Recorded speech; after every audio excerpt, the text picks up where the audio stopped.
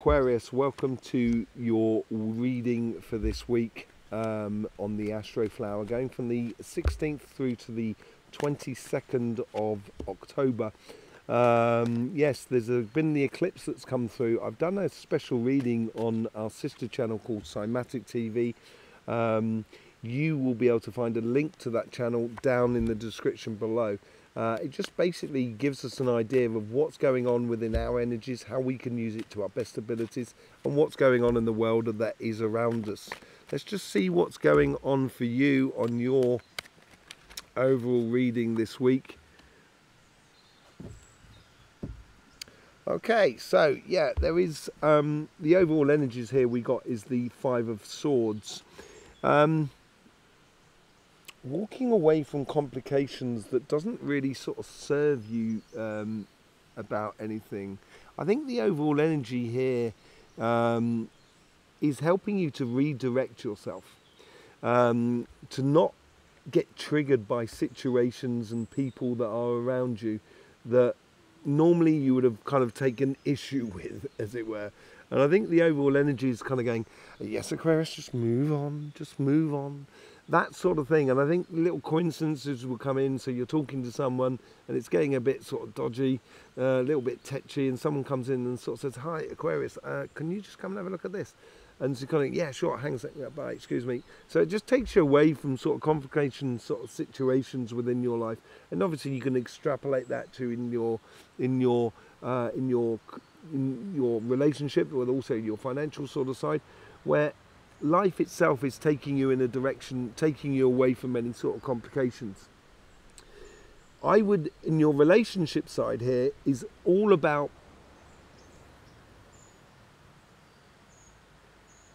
getting your fundamental dreams of what you really wish to be living in as a, as a life with people that are around you into action.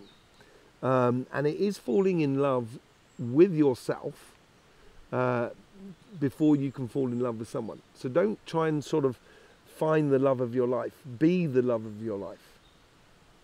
You know, be the love of life. That's what it seems to be here. And it's you've understood this. I think you've you've realised that within you. Converting it into actual day life is can be quite tricky uh, and difficult because we're dealing obviously with other people that may you know that haven't taken that journey with you. Um, they may have been beside you when you're taking that journey, but not. No one is on the same path. There may be times when your paths are next to each other, and there's times when the paths just cross. But at no point is anyone on your path. You are the only person on your path.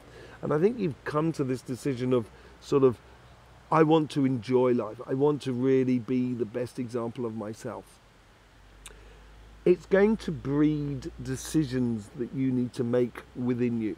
Um, and it could be um, a period. I think this has also been in your cards as well about making decisions to go forward. And um, it's going to help you to realize when you start trying to live what you want to be living as a life and in a connection with other people, it's going to help you to realize where you are stuck in your life where you're in a bit of a rut, where it's not advancing, and why it's not advancing. You have on your karmic mission, you have the um, star card. So I think this is your karmic mission is towards go towards your dreams and your aspirations. The universe is helping you out here. It's it's trying to radiate love that is constantly around you, the love of life, um, and it brings in. Um, uh, a sensation of enrichment of that connection with other people and other things that are around you. And this is where you have fallen in love with yourself.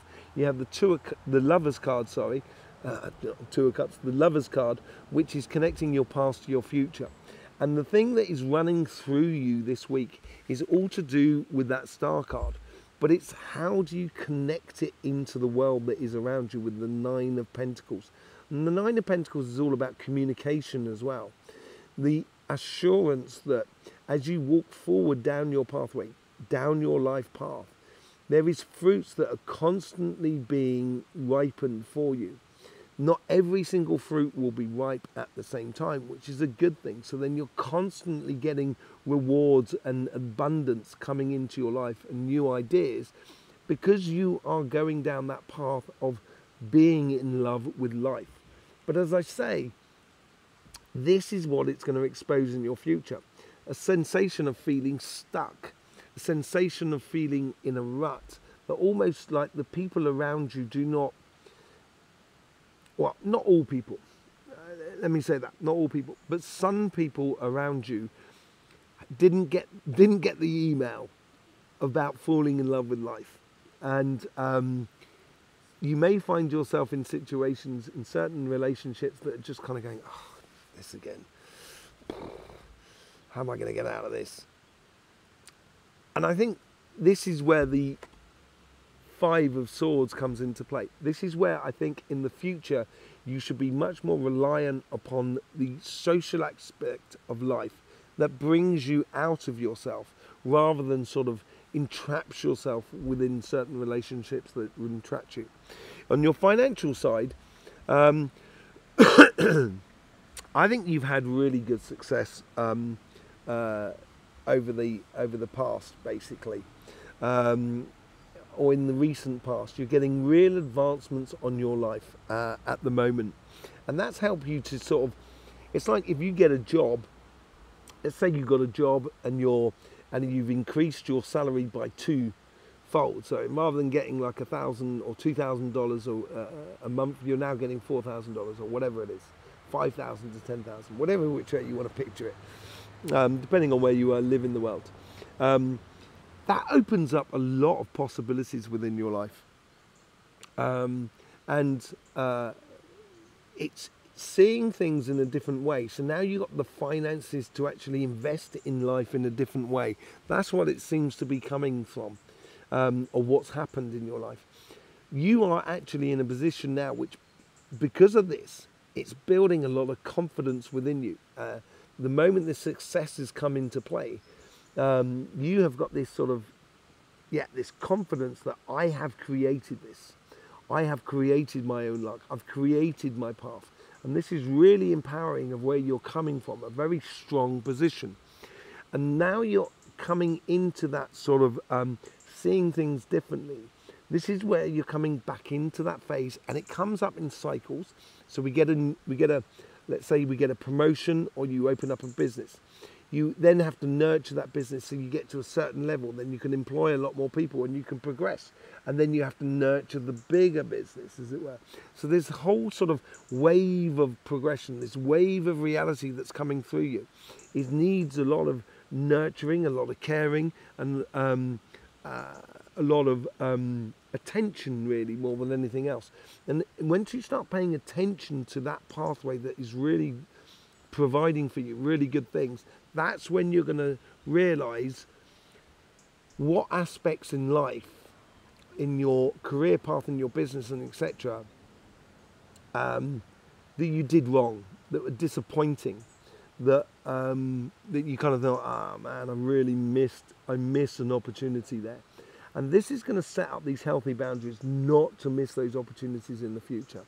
On your karmic path, you get the hangman. So seeing things differently. At the moment, you should look at it, life, or look at the your business or your job or everything around you at the moment in a completely new angle, looking at diff- all the different angles that you can.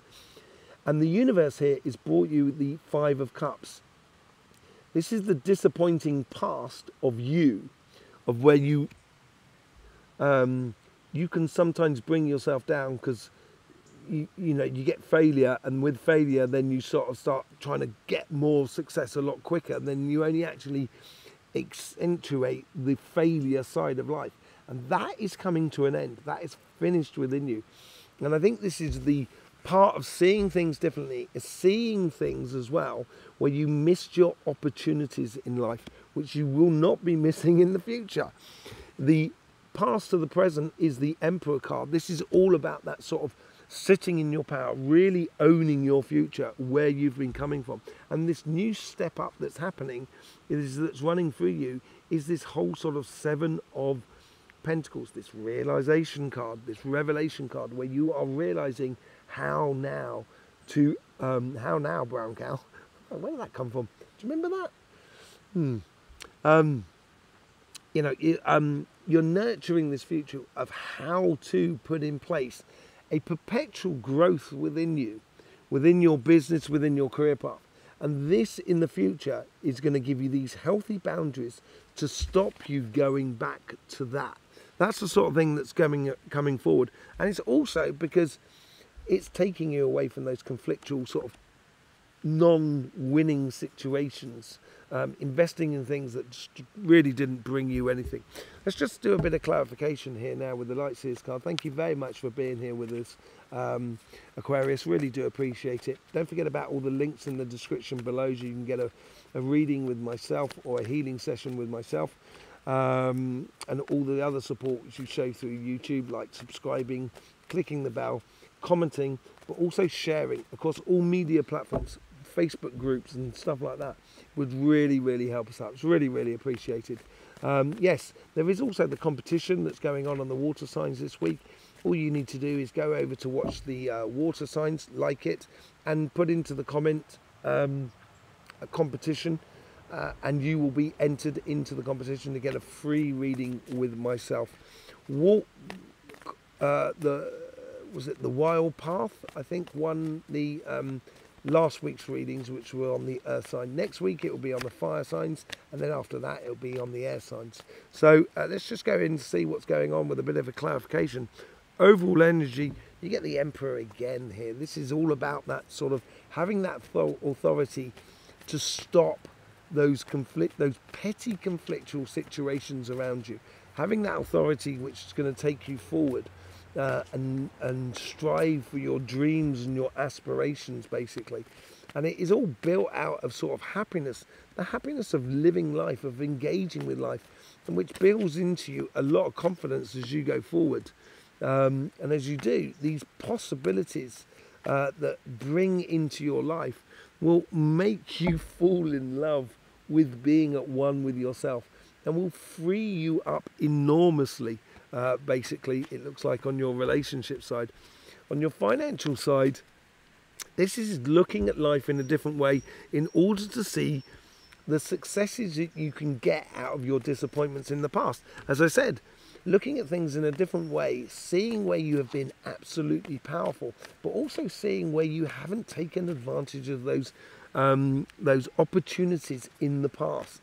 And this is building a whole new way because you're looking at life differently, it's a different approach you're giving to life. And because you're giving a different approach, this is building up and creating a whole new cycle within your life, which is so beneficial to you. It's going to make you really fall in love with life. so, as I say, on the overall energies here, you get the Emperor card here. This is where you have that authority to stamp upon any sort of conflictual situations, and it doesn't necessarily have to be with other people. It could be with how you engage with energy as well, engage with the coincidences that are around you, rather than having to fight for coincidences, kind of create them. They're just going to turn up and you can actually deal with them as you come forward. And this is where you get the Five of Swords again. I think this this conflictual situation was mainly within your relationship side rather than your financial side. Um, but um, here on your relationship side, it's moving away from those conflictual things and, and heading towards your dreams. As the universe radiates that beautiful, loving energy of loving life, this is when you see the reality for what it is. You see the situation for what it is, and that's going to help you enormously going forward. Because the moment you sort of see where you're interacting with certain relationships and where certain relationships are really bringing you down, rather than actually trying to encourage you to um, elevate yourself into that loving thing. It's going to make it very clear what is very good for you, what makes you happy. And where you're coming from, that whole sort of loving life is building a lot of confidence within yourself. because it's you who's created it, it's you who's fallen in love with yourself. And this brings a lot of strength within yourself, a lot of confidence about the path that you're going down. And as I say, all those possibilities and those fruits that are down your path, are being illuminated by your passions, your engagement, getting into sync with life. And this is what I was telling you about here on the overall energies. It's getting into sync with energy, but it's also getting in sync with other people that are around you. So rather than being trapped in a um, situation um, that is restricting to you, you're heading towards that.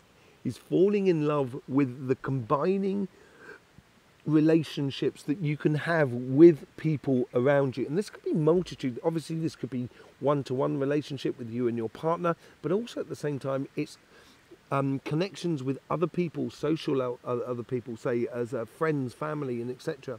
It's you being in line with your higher self helps you to free yourself up enormously from relationships which are holding you back and engage in relationships that are much more sort of um, um, proactive relationships that are around you. On your financial side, seeing things differently is going to give birth. You have the Empress card as well here. So you have the Emperor and the Empress on the table here. Um, on both sense, it's with the overall energy. Uh, you have the Emperor card. And I think this is a unification of you seeing things differently is going to make you emotionally engaged in your um, in your pathway, in your career path, in a way that opens up the doors of opportunities for you um, and makes you feel really good about where you're going um, and in line with where you're going.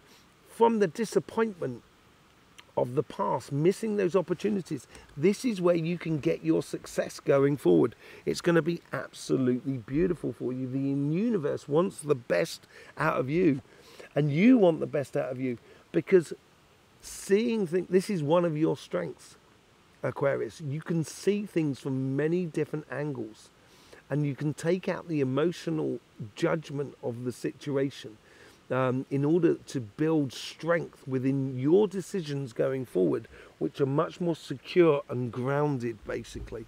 And as you're nurturing this whole new cycle as it's coming up for you, this is where it's going to open a lot of doors so you can as you're nurturing your career path or your business or whatever it is going forward, it's going to allow you to explore the emotional side of life, to open up the emotional side in your connection to your business and your projects. And this will then give you one of those healthy boundaries. Look at that. One of those beautiful, healthy boundaries. Sort of saying, I'm not enjoying this, therefore I'm not going to be doing this anymore.